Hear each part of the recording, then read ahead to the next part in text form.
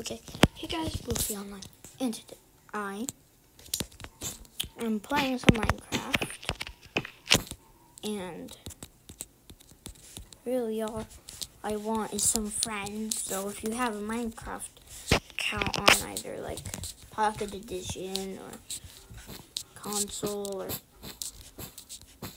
uh, the the Windows Edition, um, you can friend me if you wanted. So, yeah. This is my account. Wait. Need to go to settings.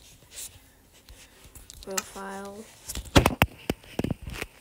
Uh, um, so if you see right, if you see my um my name is Jordan Gamer one two one five and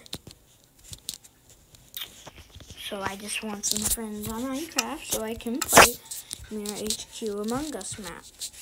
Now, actually, you need to download this map. So you can watch a video on YouTube on how to do this and then you can join.